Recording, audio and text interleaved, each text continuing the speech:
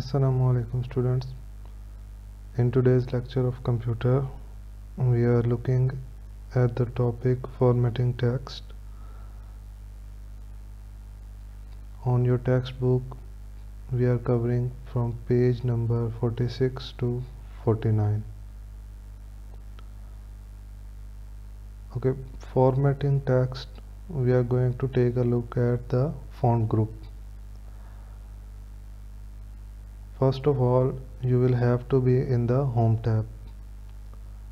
What are these tabs? We learned in the previous lecture. So when you are in the home tab you will look in the font group. In the font group you have multiple features. All of these features will control how your text will look like in your file now we are going to take a look at all of these features one by one. Now first is font type. Font type changes your text look. There are many text types in the MS Words which are already saved in the software. Some examples are Calibri, Time New Roman and Arial these are the most commonly used font types. Next is font size. It will let you choose the size of your text. You can click on this font size button and a drop down menu will open and you will choose the size which will suit you better. Next at the end of the first line you will see a clear formatting button. If you click on the clear formatting all the text setting will go back to default and it will come back as it was originally. There's also buttons for changing the case size. You can capitalize or make your words smaller by clicking on it.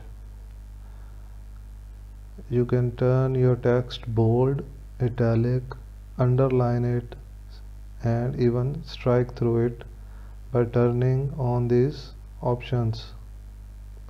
You will just have to click on these. If you click on the bold button your text will be bolded.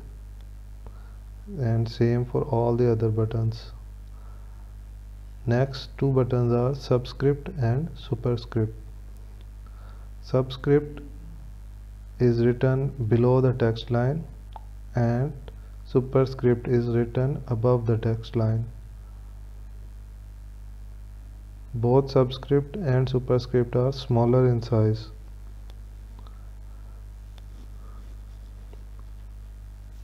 Font effect will add a visual effect to your text it can create shadow glow reflection and many others effects of your text. You can highlight your text and you can choose the color of your highlight. If you click on the highlight button and you can choose the color of your text. If you click on the font color button right next to the font group is the paragraph group. We are also going to take a look at that. First of all in the paragraph group there are bullets and numberings. Bullets and numberings are useful if you are making a list and if you use bullets or numbers in your list it will make your list look professional. And it will help you to know how many items are there in the list. Now whatever you are typing on your page you will have to align it. You can align it with the help of scale but these are the buttons align left align right and center and justify which are already programmed in it. You will simply have to click on these and the settings on your scale will change. Align left will let you write from the left side of the page. You can click on the align left or press ctrl and L similarly align right will align your text from the right side. You can click on the align right button or you can press ctrl and R. Center will let you write in the center of the page. And justify will align the text both to the left and right margins. It will keep your text will not go into the next line before you have completed a complete line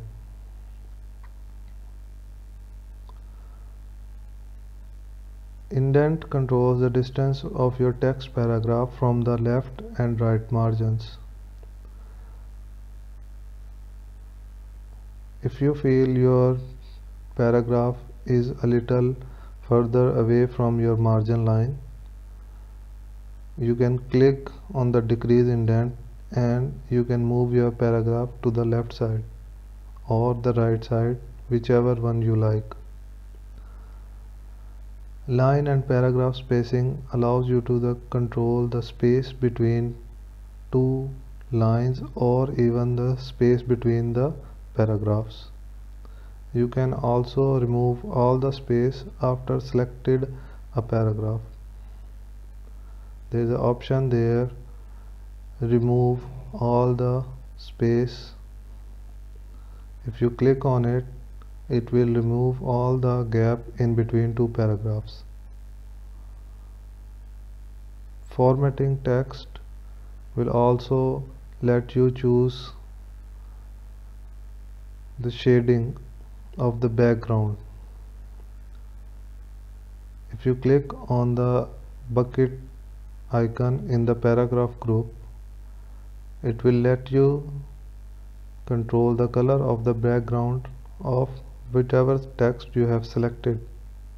In the drop down menu you will choose the color you want and if you click on the bucket then the color will be applied. Next in the paragraph group you have an option of border. Border creates a boundary line around the selected text in the drop down menu of border. You can choose whether you want a left border or right border or whatever border you want